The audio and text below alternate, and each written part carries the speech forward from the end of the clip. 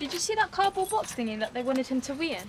Can't lie, it's so embarrassing. I will never go to a hospital. Oh, yeah? What if Davinder needs one of your kidneys? No, because that's not a thing. Wait, is that a thing? Let's hope not. Breathe. Yeah. It's gonna be all right.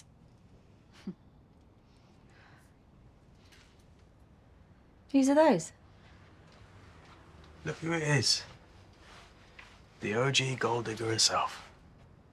What'd you call me? Bonnie, wha- give us a minute. I'm not going anywhere. What is this? I called you a gold digger. And that seemed about right, doesn't it? For someone who's so keen to get her hands on my dad's inheritance that she slept with him. What? But you did what?